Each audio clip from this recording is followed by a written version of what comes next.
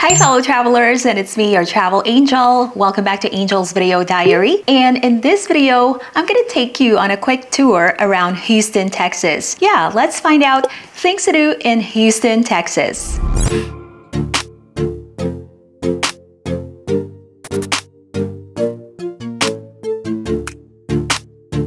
So this trip was actually part of my birthday trip and for us to be able to visit my mom in Texas. We also got to visit New Orleans, but before I talk about our trip to New Orleans, allow me to share with you our quick tour around Houston. You know, one of the things I love about Houston is the street art or murals. If you only have a few hours to explore Houston, then I recommend that you stop by the Greetings from Houston mural. It is located on the side of a gelato shop, which I've never been to, but I know I have to try it one of these days. I've been here several times and it's, you know, it's always nice to get a souvenir photo from this place. Plus, it's free and you can spend about 10 minutes taking photos here. Also, free street parking is available in the area.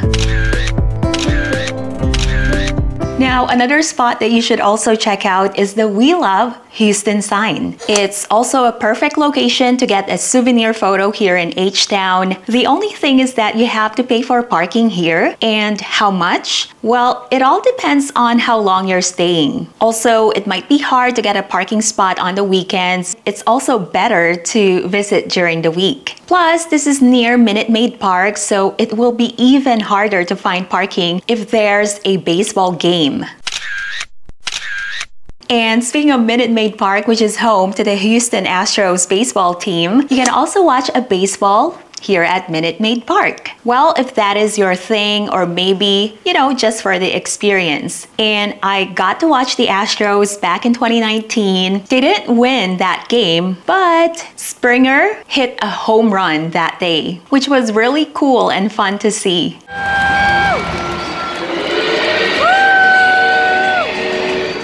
And just behind the We Love Houston sign is 8th Brewery, where you will find this giant Beatles statue.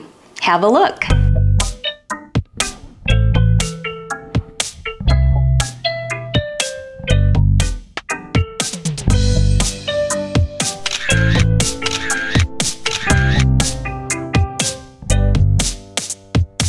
You know, one of the things I miss about Houston is the food, especially Mexican food. You can find delicious Mexican food just about anywhere in the city. One of the best places I would recommend is Tierra Caliente, and it's actually a food truck. It's not even a restaurant. I really love their barbacoa with corn tortilla. It's one of my favorite items on their menu and it's oh so good. The only thing is that they don't sell drinks here, so you will have to buy it at the convenience store or at the restaurant across the street, which by the way, what I did.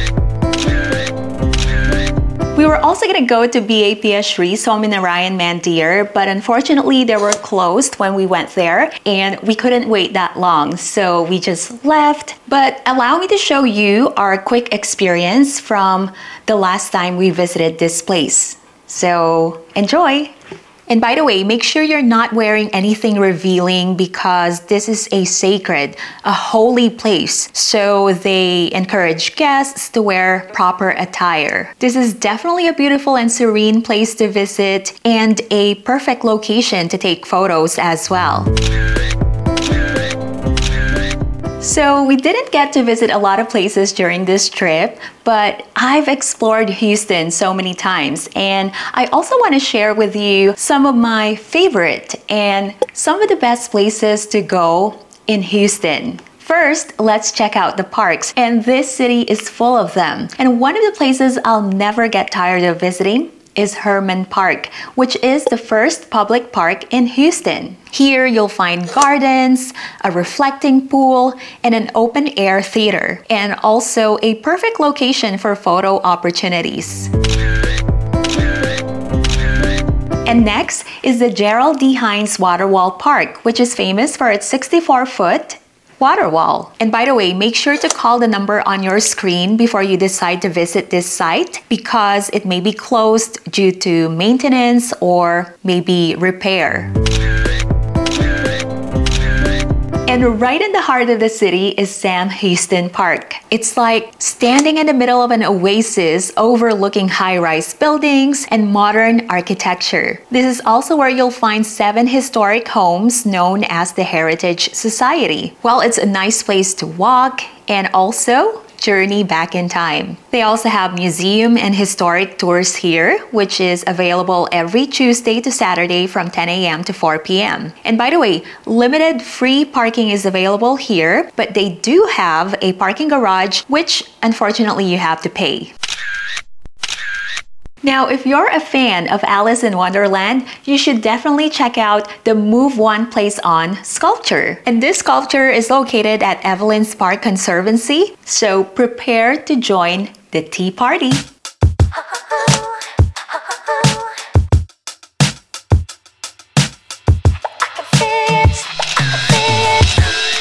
If you guys are new here and you haven't subscribed, make sure to click the subscribe button and hit the notification bell so you'll be notified whenever I would post a new content. Now, this next park is quite small, but it's actually a great photography spot. Welcome to Helen's Park. This is a lovely garden to relax and enjoy nature with beautiful water features. It's definitely a hidden jewel here in Houston.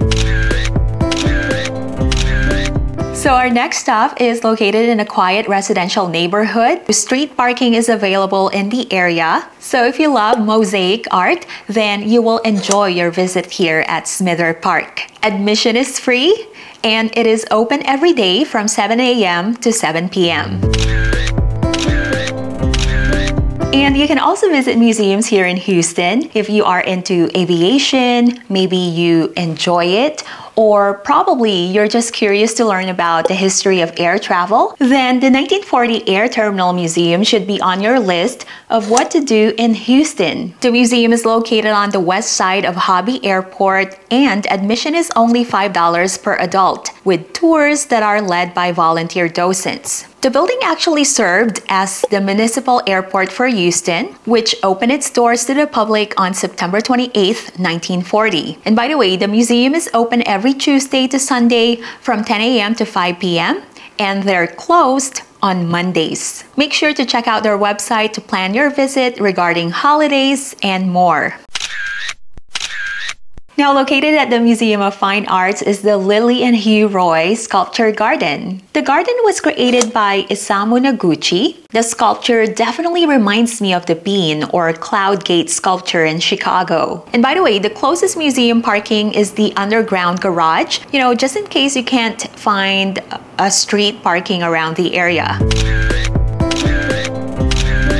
And near the Lillie and Hugh Roy Sculpture Garden is the Mecom Fountain. You can drive around it or stop by and take pictures, but just be careful crossing the street as it is located in a busy area. And just take a look how stunning it is. It definitely is a gorgeous intersection here in Houston.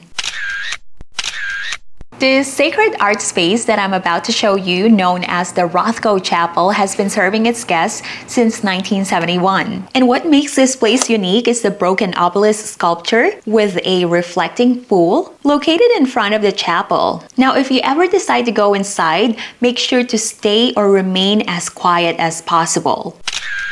So inside, it's gonna be really dark there's little amount of light and there are paintings on the wall and benches as well where you can meditate.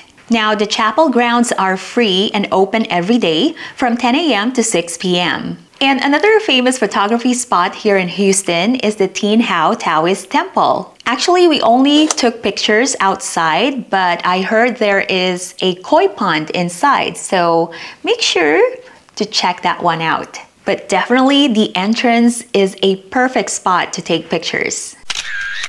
Now, the city of Houston is full of street art and murals, and let me give you some of the sites I was able to visit over the years. So, if you love art, then Sawyer Yards is where you should be. This creative space is the perfect spot to find studios and galleries, or maybe see or even meet local talented artists here in the city of Houston. They also have a farmer's market here every second Saturday of the month. Then they have these beautiful murals on the side of the buildings. And speaking of murals, another street art that you can check out is the Houston is Inspired mural. Yeah, so you should definitely add this to your Instagram feed. And we also went to Rice University, which is a beautiful campus to go and explore. You'll see a lot of interesting architecture here. They also have oak trees that look stunning. So you should definitely add this place to your itinerary.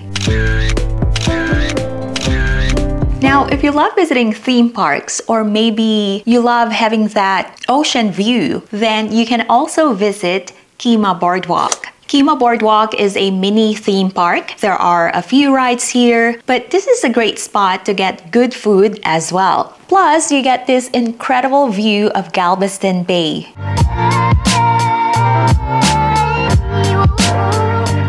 So it's going to be an hour, about an hour drive from downtown Houston. But if you are up for the challenge or you want to go on a little road trip, so this is going to be one of those side trip experiences that you can do around Houston. And then there's also Lucky Land, where you can learn about Chinese culture and its history. You'll see replicas of some of the most important historical events in China. The park is also open every day except Mondays from 10 a.m. to 5 p.m. Actually, they're open until 6 p.m. on weekends. Now, parking is free and admission is $10 per adult. So I hope I was able to inspire you to visit Houston. If you have any questions or suggestions, make sure to add them in the comment box below. If you haven't subscribed to this channel, make sure to click the subscribe button and click the notification bell so you'll be notified whenever I would post a new content. You can also stay current on my travels. You can follow me on social media. That's at Angel's Video Diary. Subscribe to my blog, mypurplepages.com. Thank you so much for watching and see you next time. Hi fellow travelers, and it's me, your travel angel. Now in this video, we're heading to New Orleans to celebrate my birthday. Yeah, so what are the things to do and see in New Orleans, Louisiana? Well, allow me to show them to you.